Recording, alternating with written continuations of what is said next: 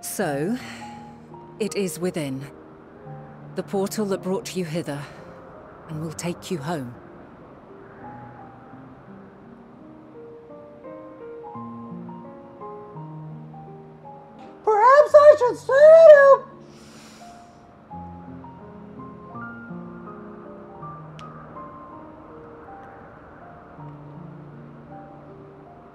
Appreciate your sentiment. I truly do. But 'tis a very long game that we must now play. And while you have maintained a stable presence here thus far, there are dangers in lingering over long. No. You must return to your own battlefield.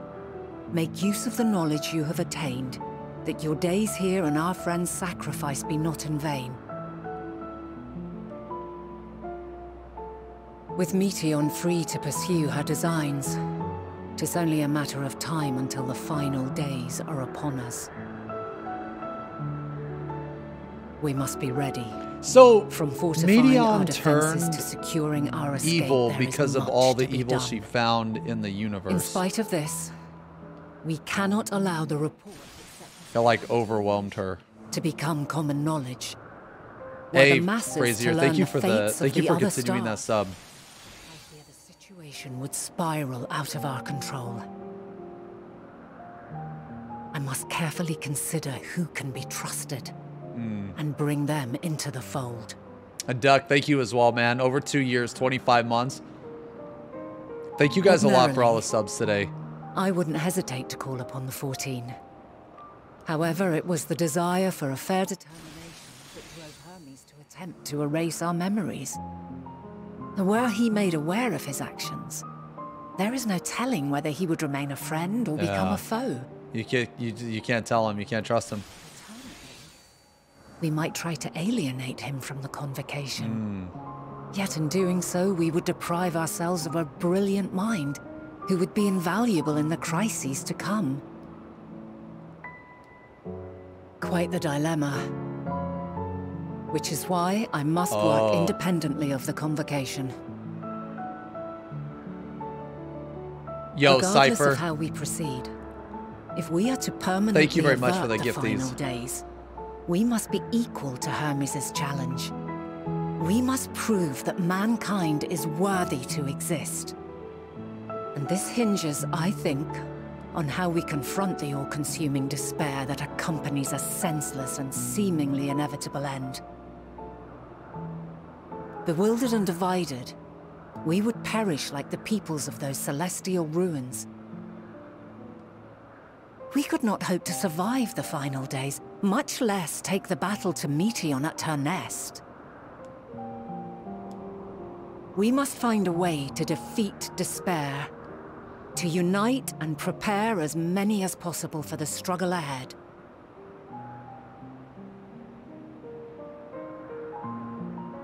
Heavy will weigh the burden of guiding this legion of souls.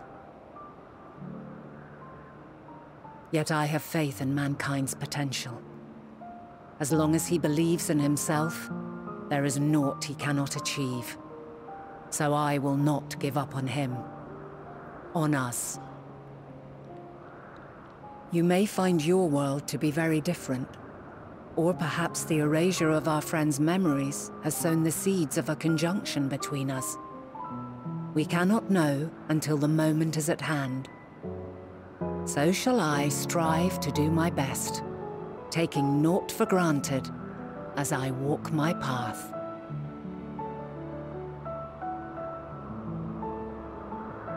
And I pray you walk with me to the end. As you move forward, so too will I, as will all, resolved to fight for the morrow. And when mankind has found the strength to stand against despair, we shall silence the song of oblivion. She who sings it will learn our journey is far from over. This I promise.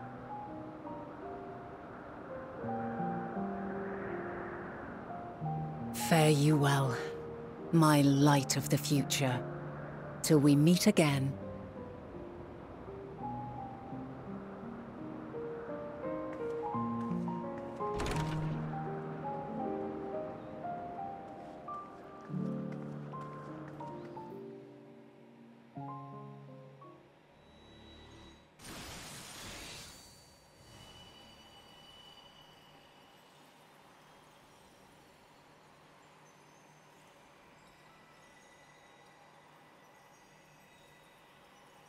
Damn. From this day forth, I shall strive to bring honor to the seat of Fandaniel. Oh, he did become Fandaniel.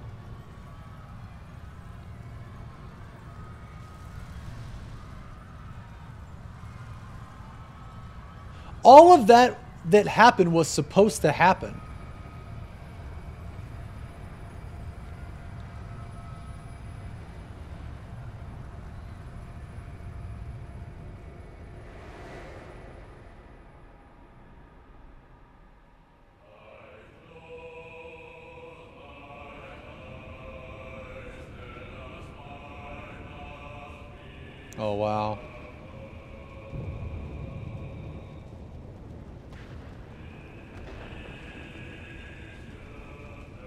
Yeah, that's T13's music.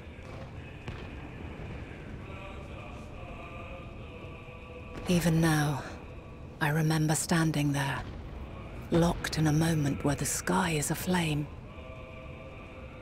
And this was the first, the, the first final days. Where stars fall as tears, and screams darken the seas.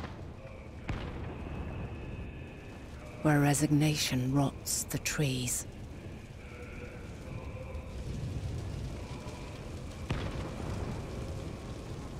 Man, that, that had to be Where fucked up because she knew it was coming. magics into abominations. She knew it was coming but couldn't tell anybody. Such is the lament of they who have gone before.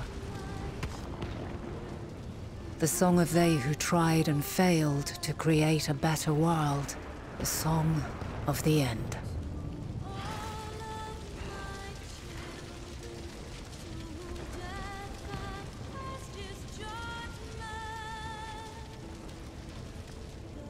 That which hides at the edge of the universe is no longer Hope's creation.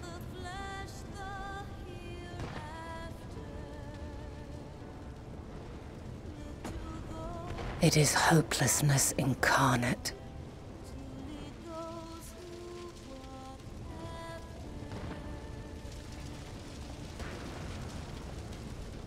That day, mankind saw half of its number sacrificed to bring forth Zodiark. Oh. And Hythla, Hythlodaeus made and the covering sacrifice. the star in a shroud of ether, we forestalled the final days.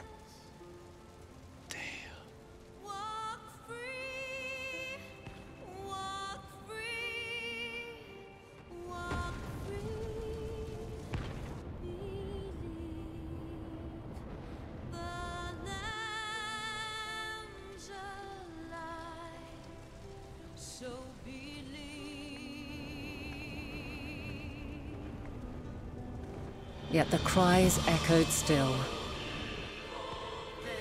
We wept for innocence lost, wailed for death inevitable.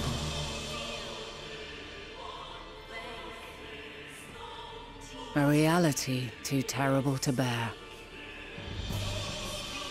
And for too many who sought comfort in gilded memories of joyful days and tranquil nights.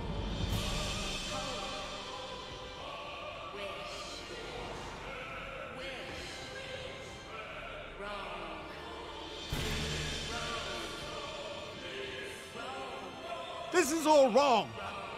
Why must we suffer so? It needn't be like this. No. There must be a way to restore things to the way they were. To reclaim the perfect paradise we once had. No, my friends. Suffering exists, and we cannot pretend otherwise. No civilization, however great, could eliminate it. If we would live, we must accept it as our constant companion. Let us not seek to forget this tragedy. Let us carry it in our hearts, that we may grow stronger and know true happiness. We can't accept it. We won't accept it. It will be ours again. A world free of sorrow. No, it will not. For there has ever been sorrow. Mankind was but spared its biting sting for a time. So please, open your eyes. To try and reclaim those lives we lost by sacrificing yet more isn't wisdom. It is weakness. No paradise is without its shadows. If we cannot accept this truth and learn from our pain, then our plight shall be repeated.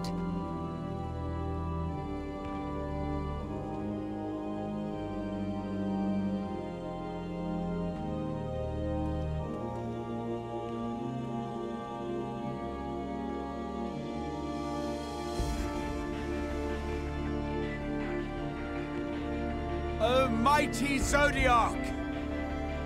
God, born of our boundless faith, we bid you, hear our prayer! Accept this offering of lives, and deliver unto us the lives we once had. Deliver unto us the days of old, the days when the star was a font of love, and we knew naught but bliss.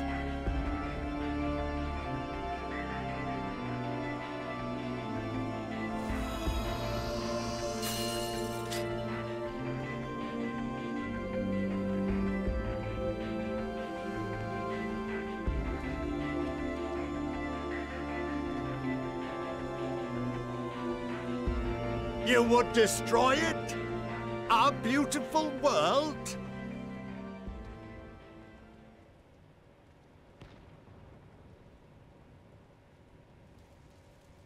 Lands that stretched on forever. Skies one could drown in. The heartbeat of nature, silent yet strong. And amidst it all, a people. Beacons of light and life. Laughter that warmed my heart like naught else before. They are my meaning and my purpose. My love. In spite of, or perhaps because of this, I choose to believe in mankind's potential, in his ability to find a way forward. So let there be no way back. From that temptation, I sunder us. No more shall man have wings to bear him to paradise. Henceforth, he shall walk.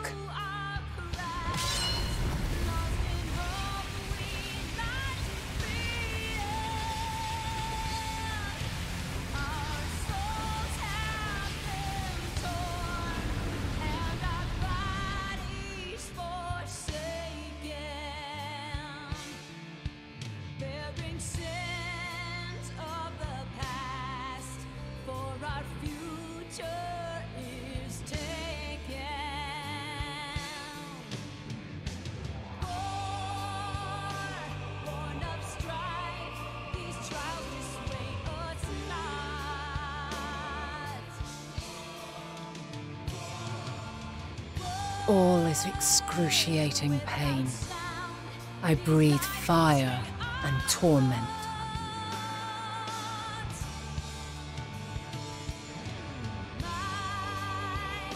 I birth a world of suffering to mire and plague.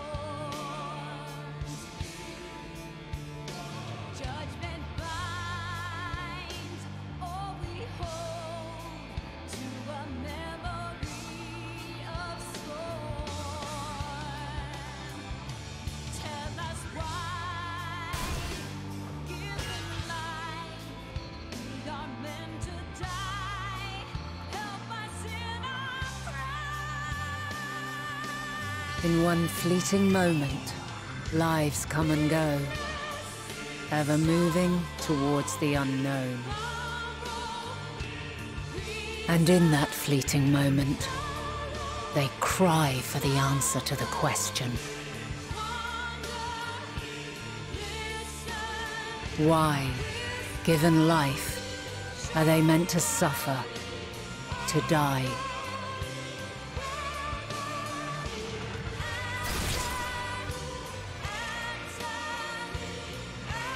As fragmented, imperfect beings, yours is a never-ending quest.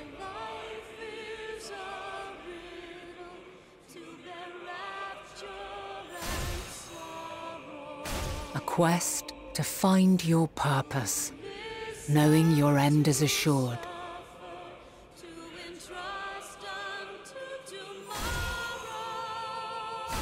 To find the strength to continue when all strength has left you.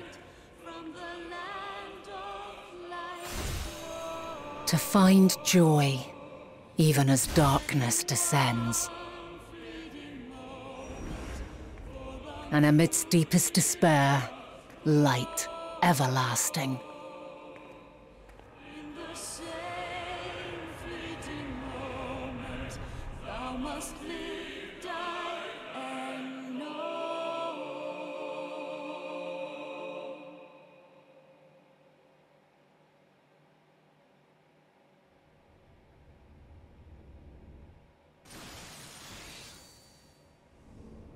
A conjunction has begun to form, an intertwining of your time and mine.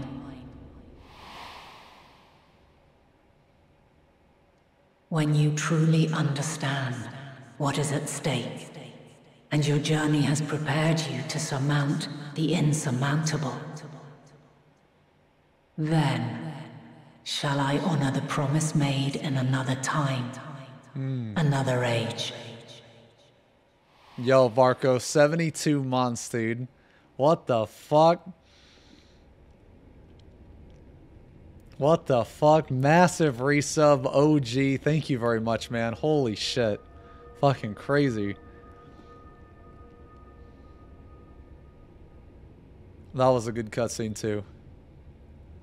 Okay, so when Venat did that did that light beam move or whatever. That's when she sundered everything. That's why people aren't tall anymore and the there's 14 different planes or whatever. She also became Hydaelyn. One of Meteion's reports was she met a race that never died, never had any plague or sickness or anything, and they got to a point to where they just killed themselves. They had no reason to exist really. Yeah, so basically she didn't want that to happen again. That was pretty good. That was pretty good.